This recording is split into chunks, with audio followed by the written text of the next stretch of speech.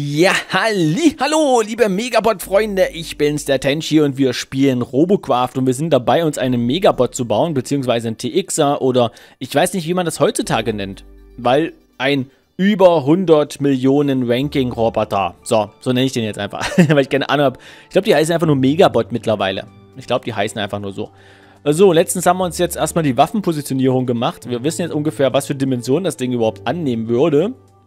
Und müssen jetzt mal schauen, wie wir das Ding fertig bekommen. Das ist ein bisschen schwierig, weil CPU-technisch haben wir jetzt eigentlich noch einiges, aber, oder?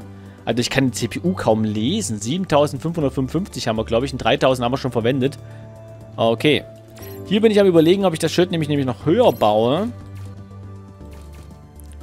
Dass man vielleicht sagt einfach, das kommt dann hier hoch. Äh, um mehr Dings zu schützen. Wobei ich dann schon gerne... So hier. Ja, doch, machen wir es so. So ist das eigentlich ganz gut. Vor allem, wo ist der denn festgebunden? Am Rad. am Rad. Ist natürlich ein bisschen blöd, wenn jemand hier wegbombt, von oben oder so, dann äh, ist dann da durch. Dann war es das. Aber es ist geil, dass man zwei Platten quasi dran klatschen könnte, wenn man welche hätte. Die kosten aber auch ungefähr, nee, die kosten bis 100.000, glaube ich. Die waren, glaube ich, richtig günstig. Also vergleichsmäßig günstig. Nein, 400 noch was 1000. Ist teuer, ist teuer, ist nicht günstig, ist teuer. Okay, das heißt, ich wollte ja meinen Sitz gerne noch weiter nach vorne schieben. Hm, was natürlich ein bisschen blöd ist, weil ich jetzt hier so schön gebaut hatte, aber okay. Den würde ich gerne so ein bisschen mittig machen, dass der vielleicht hier so ungefähr Schutz kriegt. Ungefähr da. Und dann müssen wir leider, leider, leider nochmal komplett ringsherum bauen. Ein bisschen blöd. Aber was muss, das muss. Vielleicht machen wir einfach nur ein Viereck diesmal draus.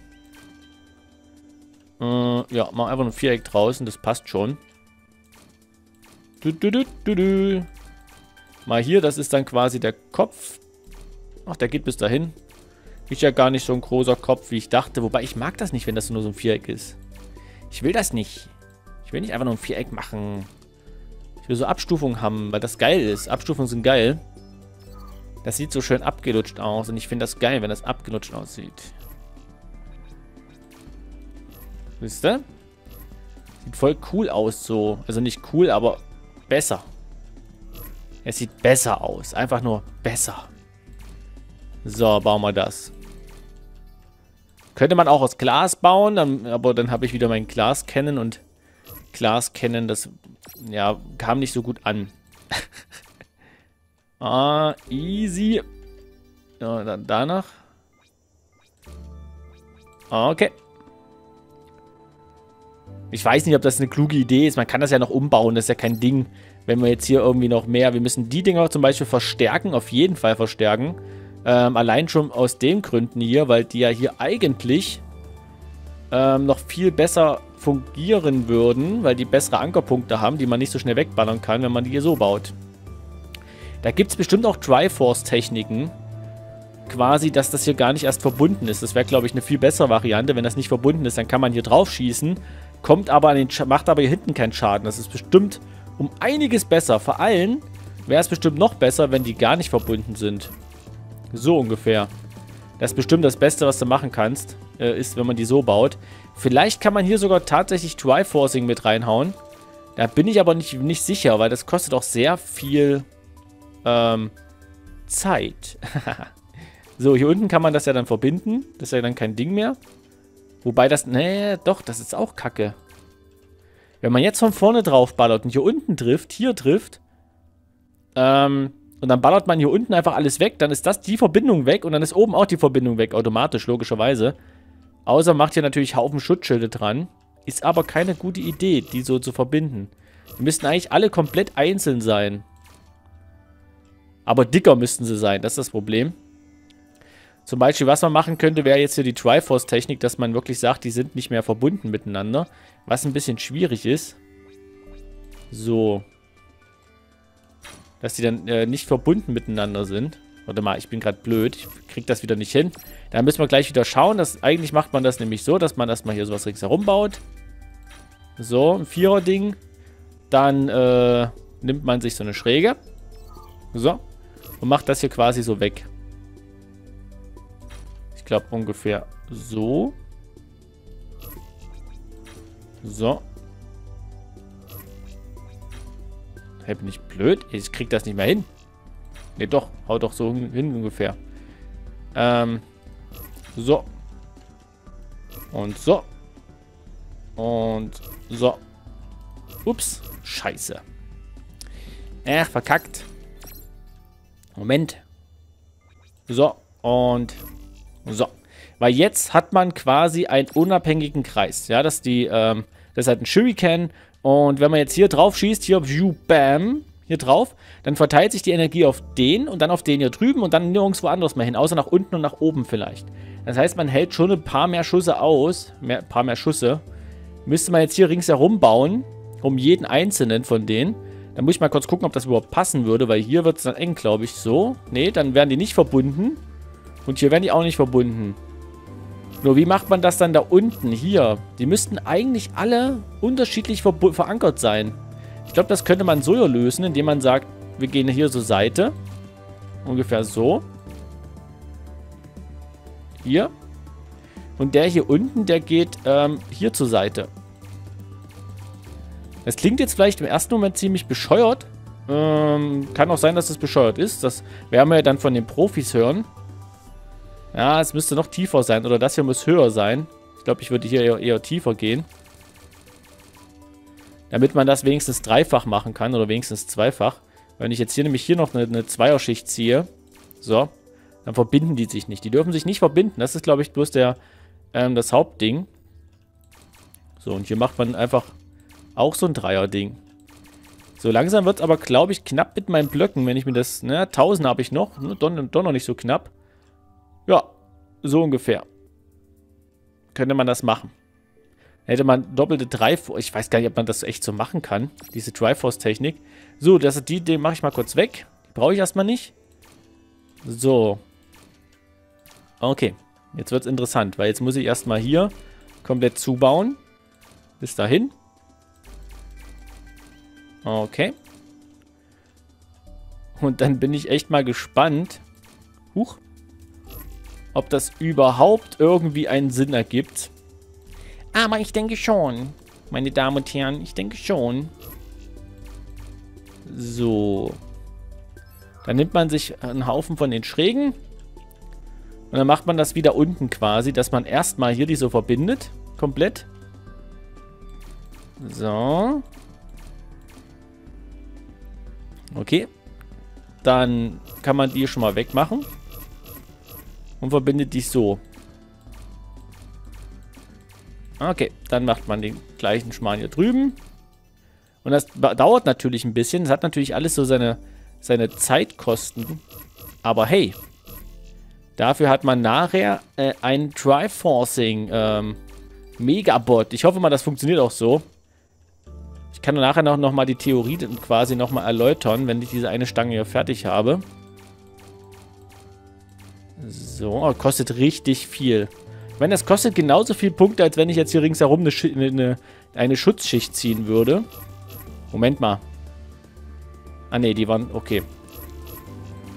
Würde, würde, kostet genauso viel Blöcke, vielleicht, das sind aber, natürlich sind das andere Blöcke, aber es kostet halt genauso viel Blöcke quasi. So, wir haben einmal dieses Ding und das ist jetzt ein Triforce. Ich weiß nicht, ob man das hier unten auch machen sollte, hier ringsherum. Ja, nee, hier muss ja irgendwo verbunden sein, aber ich mach's mal, damit das äh, nach was aussieht. So. Wenn, jetzt stellt euch vor, wir haben hier drüben nochmal so ein Ding und dann nochmal eins. Wenn jetzt wirklich, man von vorne drauf ballert, wenn jetzt wirklich von vorne einer drauf ballert, dann äh, schießt er hier so drauf. Dann trifft er hier, schießt, ballert mir ein bisschen was weg. Ähm, und dann ist irgendwann mal die erste Stange kaputt. Sie brauchen schon ein paar mehr Schuss, um die erste Stange kaputt zu bekommen. Dann sind die aber immer noch verbunden mit der Stange und mit der Stange. Die müssen sie auch nochmal alle, alle beiden so wegballern. Oder, ja, was wahrscheinlich wahrscheinlicher sein wird, die ballern mir einfach nur die TX-Waffe weg. das kann natürlich auch passieren. Ne, das kann natürlich auch passieren. Aber ich glaube, ähm, ja. Ich werde es erstmal so machen. Ähm, ich werde mal ganz grob, Leute, weil ähm, das dauert einfach zu lange. Das ist vielleicht ein bisschen langweilig in so einem Let's Play. Also werde ich jetzt mal hier ringsherum das Dry-Forcing äh, andeuten. Ja, damit wir schon mal wissen, ähm, dass das da ist. So. Ein bisschen andeuten. Und dann werde ich das ähm, offscreen zu Ende machen. Weil das wird echt eine Weile dauern. Habt ihr ja gerade gesehen, wie lange ein Turm gedauert hat. Und ich muss das hier, eins, hier, das muss ich, so, nee, na gut. Ein Turm habe ich gemacht. Fehlen bloß eins, zwei, drei, vier Türme, die ich noch machen muss. So. Okay, dann habe ich jetzt die schon mal angedeutet und ich muss auch hier unten nochmal andeuten, dass ich einfach mal weiß, wie weit die runtergehen auch. Würde ich schon gern bis hierhin machen. So. Und hier das gleiche. So. Dann nochmal eine Schräge. Klack, klack, klack, klack. So, dann, dann können wir jetzt nämlich quasi am Body erstmal weiterbauen. Weil wir ungefähr wissen, ähm, wie groß das jetzt auch alles hier wird. Das ist ja schon irgendwo wichtig zum Wissen, wenn man das baut. So. Äh, sieht ja schon mal wunderschön aus. naja, ob das wunderschön aussieht, das weiß ich noch nicht so genau. Wir haben ja eigentlich noch diese Schutzschilde hier und ich weiß noch nicht genau, wie sehen die denn jetzt aus eigentlich. Lol, das ist ja mal Hammer. Also Hammer vielleicht nicht in dem Sinne, aber... Ja gut, die fallen sehr schnell ab, ne? Wenn man hier Triforcing macht, dann fallen die natürlich sehr schnell ab, die Türme. Äh, ist aber witzig irgendwie, aber ich, das ist jetzt nicht das, was ich hier verwenden könnte.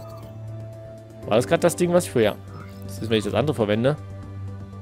Ja, es, es sieht natürlich lustig aus. Aber allerdings haben die zwei Punkte und die zwei Punkte sind hier fest. Ah ne, hier sind auch noch... Na, die sind gar nicht verbunden. Ist auch ein bisschen blöd. Was ist denn, wenn man die hier vielleicht versucht dran zu klatschen? Ja, vielleicht weiter vorne könnte man hinkriegen. Wenn man die weiter vormacht. Kurz gucken, wo sind denn die Ankerpunkte? Die sind da, okay. Mal kurz einmal nach vorne machen. Ah, die sind anders. Okay, die sind jetzt so rum. Hm, ja. Ja, jetzt sind sie nur die andere, die andere Seite. Das gibt ja gar nicht so. Hä, grad hä die haben doch gerade hier dran gepasst. Willst du mich verarschen? Wie gerade hier dran bekommen. Hä? Die haben doch gerade da dran gepasst. Ich äh, werde nicht mehr schlau daraus. Ich hab die gerade hier dran bekommen, oder habe ich... Hä, die haben doch gerade da... What the fuck? Ich habe keine Ahnung, was hier abgeht. Ähm... Ah, ich habe die von oben dran gesetzt, glaube ich. Oder? Ich weiß es nicht mehr. Ich habe die hier oben drauf gesetzt gehabt, glaube ich. So. Weil ich wollte die eigentlich höher setzen, weil die schützen... Na gut, von vorne schützen die schon recht gut. Kann man die noch weiter zur Seite schieben vielleicht? Dass das hier so dran ist vielleicht. Mal gucken. Ja, yeah, das funktioniert. Weil das schützt quasi so ein bisschen die, die Stangen, die zur Seite gehen. Wobei, eigentlich müsste ich dann doch hier ein bisschen weiter hier in die Richtung gehen. Nicht so weit raus, sondern mehr rein. Müsste eigentlich schon so hingehen, damit die Stangen quasi geschützt werden. Die Stangen hier. Wobei die so groß und fett sind, dass man die schlecht so schützen kann. So, mal ganz kurz gucken, wie das aussieht. Ah, so. Kann ich ihn noch weiter hinterschieben? Ne, ich glaube. Ne, da das ist schon das Maximalste, was ich schieben kann.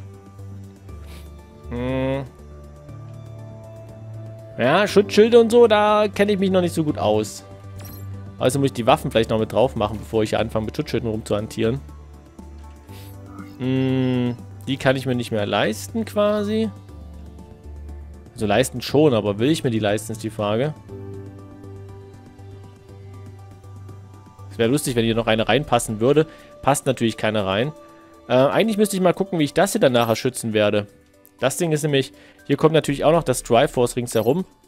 Ähm, muss ich auch mal genauer gucken, wie ich das hinkriege.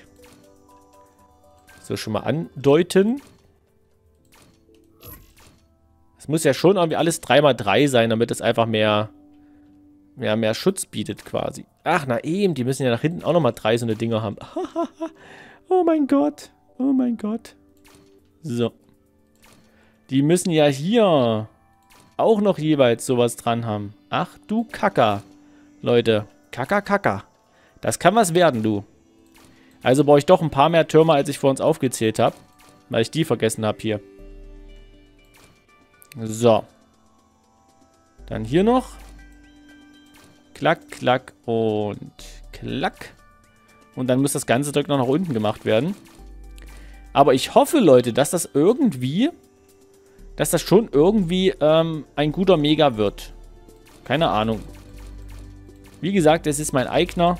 Den habe ich mir selbst ausgedacht quasi. In meinem Gehirn, vor euren Augen vor allem. Vor euren Augen.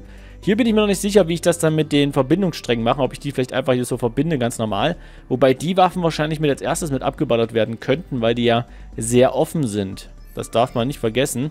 So, wie viele Blöcke haben wir noch? Okay, das ist doch noch akzeptabel. So. Klack, klack, klack. Überall mal dran bauen. Da, wo geht. So. So.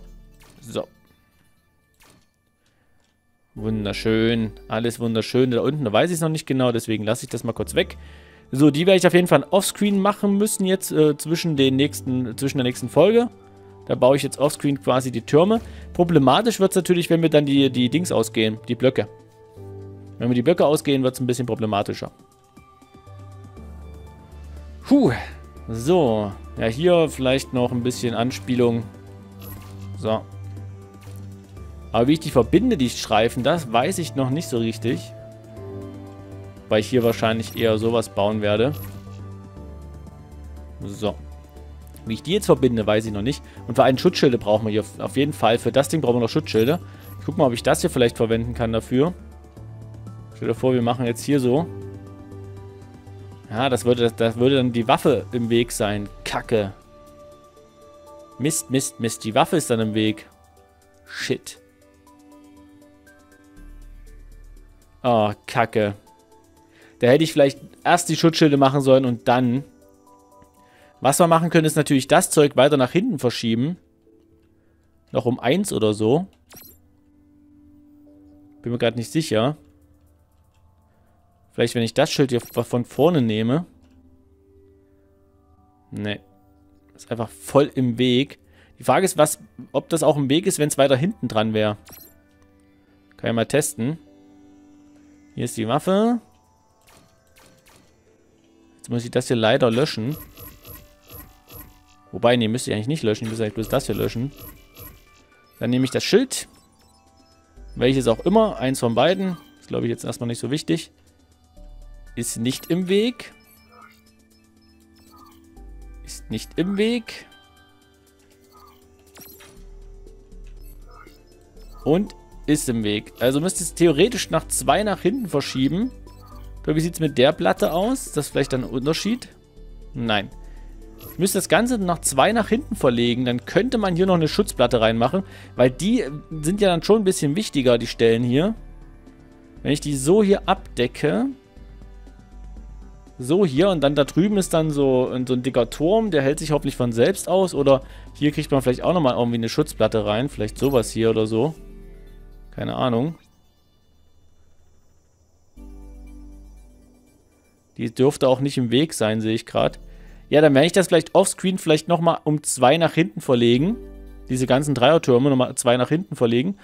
Ja, und dann schauen wir das nächste Mal, ähm, wie wir das ganze Ding dann im Endeffekt zusammenklatschen. Da wird ja auch nochmal sehr interessant, ne? so. Alter, ist alles kaputt und zerbrochen jetzt. Voll schade. So, bis dahin muss das. Kann ich schon mal hier eine Anspielung machen. So. So. Okay. Easy, easy, easy, easy. Kriegt mal hin. Kriegen wir hin, Leute. So, und verbunden. Fertig. Aber wir haben ein bisschen... Hm, weiß ich nicht. Vielleicht müssen wir gar nicht die verschieben. Vielleicht muss ich bloß die Verbindungsstange weiter nach hinten machen. So ungefähr. Wenn ich jetzt bloß die Verbindungsstange abändere und da das Schutzschild dran klatsche, sollte das doch theoretisch auch funktionieren. Wobei ich nicht weiß, ob ich den nach oben machen sollte oder doch eher nach unten. Geht das überhaupt nach unten? Ja, wenn ich so machen würde. Wobei es da wieder im Weg ist. Weil es egal, ob ich die nehme oder die nehme. Ist ja interessant. Naja, die werden ja eher... Naja, wenn man hier so guckt... Ja, der Turm in der Mitte ist jetzt halt nicht geschützt. Ist ja auch ein bisschen blöd. Den werde ich auch nicht schützen können, weil... Ähm, ist halt ein Mittelturm. Was soll man da machen? Vielleicht muss ich den dann doch ein bisschen nach hinten schieben. Aber ist ja auch kein Problem, dass ich den nach hinten schiebe noch ein bisschen. Kleines bisschen. So dass der quasi hier ist. Dann ist diese eine Waffe vielleicht die einzige Waffe, die, die dann doch ein bisschen weiter hinten steht als die anderen. So. Ich die dann dahin setze. Weil dann ist der Turm, den ich jetzt hier reinbauen kann, der ist dann so dick. Bis dahin.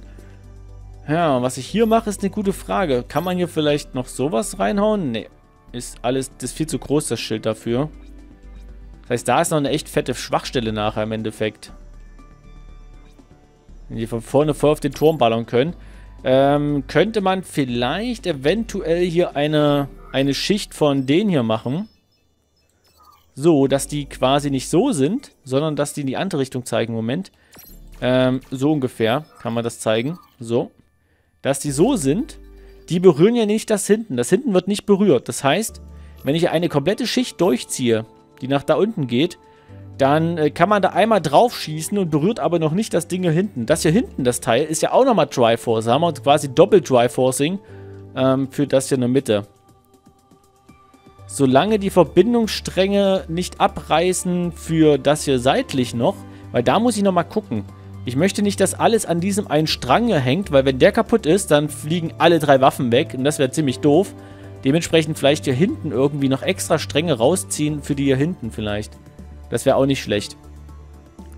So, müssen wir mal gucken, wie wir das am blödsten machen. Aber jetzt werde ich erstmal die Türme bauen. Ja, dass ich hier die Türme ringsherum fertig baue. Voraussetzt, ich habe noch das ganze Geld dafür. 36 von denen wird nicht reichen. Da brauche ich auf jeden Fall noch ein paar mehr. Muss ich ein bisschen Geld ausgeben. Na gut, dann äh, würde ich sagen, ich war der Tenchi hier von Snoops Kanal. Wir sehen uns dann beim nächsten Mal. Bis dahin. Tschüssi.